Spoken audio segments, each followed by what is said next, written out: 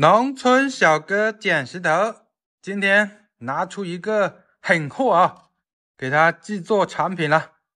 这里这个玛瑙纹啊，很黄，一层层的玛瑙纹，有点像那种蚕丝的感觉啊。然后这边的话，它又凹了两个孔，不知道还能不能出手镯啊？如果不能出手镯的话，就把这个黄色的给它挖出来。制作那个手串，做出来的珠子啊，都是一圈圈的啊。好，我们先给它把旁边的皮切掉一点，看一下有没有裂。因为这边这一条啊，好像有点像裂的感觉哦。好，给它开切。刚给它去了一下皮，惨不忍睹啊！太裂了吧，哪个地方都有裂。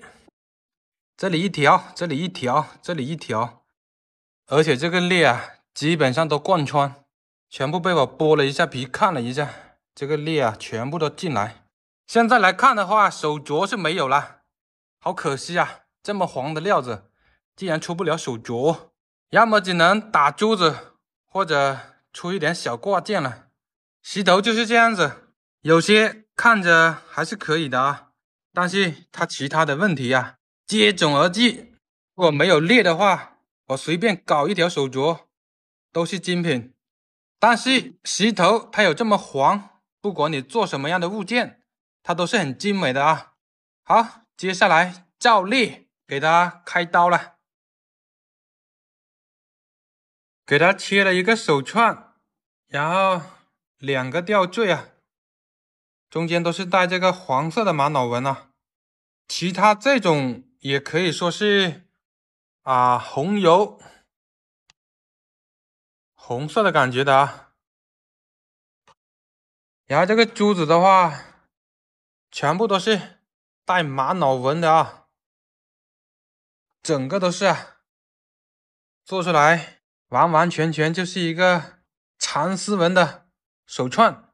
然后这些边角只能给它做一些小珠子了，也可以给它。做成一条项链，然后配在这个牌子上面，刚好是一套嘛。这个料子统一，颜色也统一啊。